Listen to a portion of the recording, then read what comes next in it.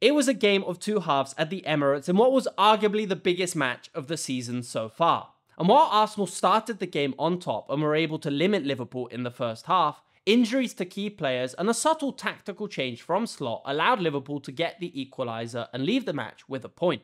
And in today's video, we're going to be analysing how Arsenal completely dominated Liverpool's midfield in the first half, and how one single change from Darwin Núñez allowed Liverpool to finally exploit the space in behind Arsenal's defence. Let's take a look. Welcome to TalkSport. My name is Cormac, and if you enjoy this new type of analysis, then leave a like and a comment down below. Arsenal came into this match missing a number of key players due to suspension and injuries. And a big talking point was their starting formation, as it featured a number of players in different positions that on paper would allow Liverpool to get the upper hand.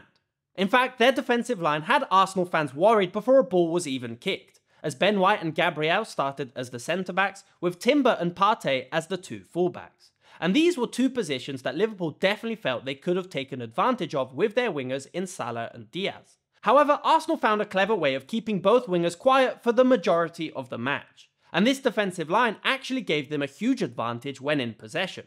Arsenal's objective was to exploit the space on the wings, and to create small overloads with Havertz moving out wide on the right, and either Trossard or Merino moving over to the left to create a 2v1 against the fullbacks.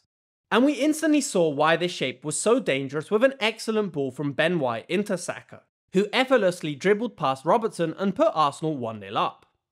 This offensive shape with the two players out wide was very clearly designed to exploit Liverpool's pressing shape. As we've seen all season, Liverpool's defensive shape resembles a 4 2 4, with the two wingers closing off any passes out wide, forcing the opposition to circulate possession or play a long ball where the centre backs can intercept it. However, especially at the start of this game, Liverpool were not pressing too aggressively, and this gave time to Arsenal to exploit the space either side of Gravenberch and Mac Allister to move the ball forward, a space that Chelsea were also able to exploit countless times in their game last week. But Arsenal's plan to move the ball out wide also relied on a clever rotation in the centre, and with Partey moving into his more natural holding midfield position alongside Declan Rice, it meant Arsenal would revert to their typical 3-2-5 shape, with an extremely solid defensive block that allowed them to completely dominate the midfield in the first half. In fact, with this build-up shape, Liverpool's press was pretty ineffective in this match. And because they wanted to close down all these players, it created big gaps between the midfield and defensive line that Arsenal were able to exploit before moving the ball out wide into Martinelli or Saka. In contrast to Liverpool, who nearly always played long balls into the wingers, Arsenal had the choice of going directly into the wingers or by moving through the units to push more players forward.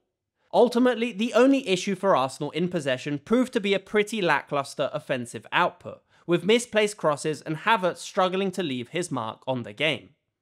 Now, on paper, Arsenal's shape should have given Liverpool's wingers acres of space to exploit on the flanks. But in reality, both Salah and Diaz struggled in their individual battles against Partey and Timber. Liverpool have been one of the most direct teams this season, and Slot's style of moving the ball into the wingers quickly has worked for them pretty consistently so far. However, Arsenal clearly did their homework, and were able to limit any dangerous opportunities from this position. In possession, Liverpool started their attacks with one holding midfielder in Gravenberch, with Mac Allister and Jones moving further forward in the centre, and Alexander Arnold being much more aggressive and giving support to Salah on the flank. If needed, either one of these players could rotate in the centre to give support and form a double pivot. But Arsenal's 4-4-2 defensive shape meant there was little opportunity to build centrally in this match. Slot is a manager that doesn't want to waste time when in possession, and the vast majority of chances are coming from long balls, either from the centre backs or from Kelleher straight into the wingers. In previous matches, these passes were much more precise, and Liverpool were able to exploit the space between the lines with players like Jones and Jota rotating to receive the ball in this position. But Arsenal were very clever to not leave these gaps in midfield, and meant that when the wingers received the ball, there were barely any options for them to move the ball and exploit the space on the flanks. This problem was also made worse when considering the role of Darwin Núñez, and in the first half was consistently dropping far off the defensive line, leaving the two centre backs isolated, but simultaneously not giving any support on the flanks. And whilst this did give Liverpool more numbers in the centre, Arsenal were able to cover these central passes consistently. There were countless moments in the first half with Liverpool playing long balls into the wingers, but Arsenal effectively covering all the possible options and consistently winning the second ball. This problem was made worse by the fact that the delivery of these passes was consistently into feet, where Partey and Timber could physically intercept these passes. In the rare occasions where Liverpool were able to play it over these two fullbacks, then they were able to create some more dangerous opportunities. And it was exactly this scenario that led to their equaliser from the corner, with Van Dijk playing the ball into the space behind Partey for Diaz to chase. Arsenal's well executed game plan paid off for them at the end of the first half, finding the lead once again thanks to a well worked free kick routine with four players starting in an offside position before quickly shuffling back and getting to the ball before any Liverpool defender. An exact pattern that they tried in a previous free kick. And after a lengthy VAR check, Arsenal went into the break 2 1 up. In the second half, both teams started with a similar game plan, but even more injuries to Arsenal's defensive line gave Liverpool a window of opportunity to get back into the game. In the 50th minute, Gabriel was replaced by Kiwior, and a triple substitution from Liverpool allowed them to gain more control of the match. Liverpool were much more dominant in possession, with Arsenal reverting to a much more defensive approach. However, Liverpool still were not able to find the space through, and were getting frustrated with poor delivery and not much movement in the final third. For the vast majority of the second half, the game was played in Arsenal's half, with Liverpool circulating around the box, but rarely making it past the first defender with their deliveries.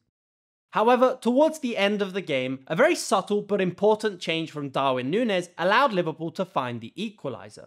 And while he was consistently dropping deep in the first half trying to receive the ball to feet, he started to attack in behind the defence more consistently, finally creating a few more problems for Arsenal's defensive line, and ultimately getting the assist for Salah in the 80th minute. Liverpool quickly pushed forward after regaining the ball, and an excellent pass from Trent Alexander Arnold caught the defensive line not ready to run back to cover the space, with Núñez then finding Salah in the centre. In the end, this clash between Arsenal and Liverpool was decided by the individual battles on the pitch. Saka was in complete control against Andy Robertson and raises some important questions surrounding his selection in this Liverpool team and Timber and Partey were able to nullify Diaz and Salah for the vast majority of the match. But injuries and players out of position gave Liverpool an opportunity to get back into the game. And this match gave us some important details surrounding both Liverpool and Arsenal. On one hand, whilst Liverpool might not play the most entertaining football, all it takes is a split second of brilliance for them to create a dangerous opportunity. On the other hand, Arsenal have shown us that even when they're missing a number of key players, Arteta has the right ideas to counter the opposition and be dangerous going forward. But what did you think of this match? Do you think either Arsenal or Liverpool deserve to get more out of this game? Leave your thoughts in the comments down below. If you enjoyed this video, I have countless of tactical breakdowns on my channel, Football Meta. So if you want to be up to date with the latest tactical trends and up and coming managers, then make sure to check out some of my most recent videos. Thanks for watching.